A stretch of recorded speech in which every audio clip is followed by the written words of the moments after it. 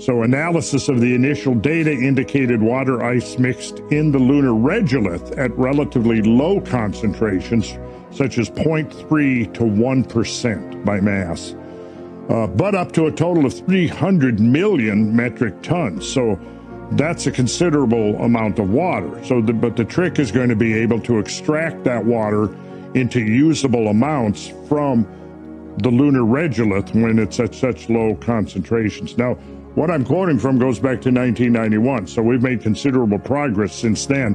And I would be interested in finding out uh, what would be the technological capacity now to extract water, ice, or water from the lunar regolith, which, by the way, is simply the pulverized material that has accumulated in some cases to great depths on the lunar surface that resulted from the repeated bombardment of hypervelocity projectiles onto the lunar surface, which is why there are so many hundreds of thousands of craters on the surface of the moon.